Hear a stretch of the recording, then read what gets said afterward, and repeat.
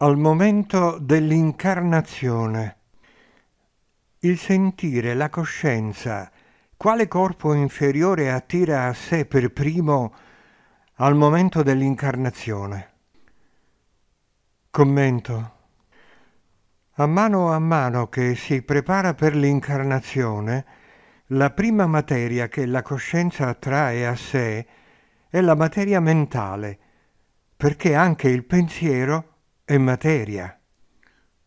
Ogni corpo, il corpo della coscienza, il corpo mentale, il corpo astrale e il corpo fisico, non è separato dagli altri corpi, ma li compenetra, anche se ogni corpo risponde alle vibrazioni che coinvolgono le diverse densità della materia che lo compone.